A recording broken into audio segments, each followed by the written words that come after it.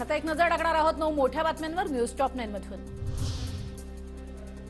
मी मूर्खांना उत्तर देत नाही राऊतांच्या फडणवीस पूर्ण उपमुख्यमंत्री नसल्याच्या टीकेला फडणवीसांचं उत्तर. त्यांचं या आंदोलनात काही कॉन्ट्रीब्युशन नाही. असे लोक अशा प्रकारचे आरोप करून स्वतःचं हसं करून घेत आहेत आणि कोट्यावधी हिंदूंचा अपमान करतायत.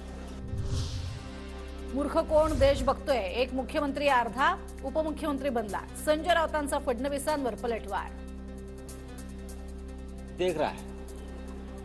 एक मुख्यमंत्री, आधा उप मुख्यमंत्री बन गया. एक महाराष्ट्र का मुख्यमंत्री था. जो पहले उप मुख्यमंत्री बन गया और फिर आधा उप मुख्यमंत्री हो गया उसका, बना दिया उसका, काट दिया उसको. सरकारचं शिष्टमंडळ आज मनोज जरांगेंची भेट घेणार. आरक्षणाबाबत जरांगेंना फायनल ड्राफ्ट दिला जाणार. बच्चू कडू मंगेश चिवटे यांचा शिष्टमंडळात समावेश.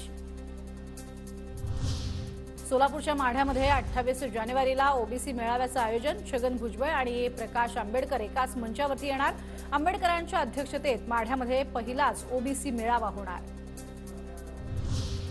राम मंदिर लोकार्पणाच्या पार्श्वभूमीवर मनसेच्या फलकावरती प्रभू श्रीराम दहिसर विधानसभा क्षेत्रात मनसेची फलकबाजी मनसेचे चिटणीस किरण नकाशे यांनी लावले फलक.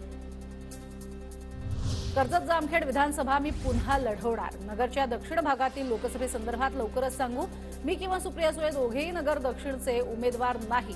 रोहित पवारांकडनं स्पष्टीकरण. रत्नागिरी सिंधुदुर्ग लोकसभेवरनं भाजप आणि शिवसेनेत रस्सीखेच. माजी खासदार निलेश राणेंच्या उमेदवारीसाठी भाजप कार्यकर्ते सक्रिय. तर शिवसेनेतनं उदय सामंतांचे बंधू किरण सामंत हेही मैदानात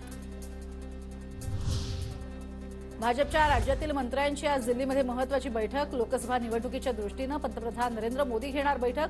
यात पंतप्रधान तसंच अमित शहा जे पी नड्डा उपस्थित असणार. शरद पवार आज सीमा भागातल्या दौऱ्यावर दौऱ्यादरम्यान महाराष्ट्र एकीकरण समितीचे पदाधिकारी शरद पवारांची भेट घेणार. निपाणीमध्ये पवारांची जाहीर सभा.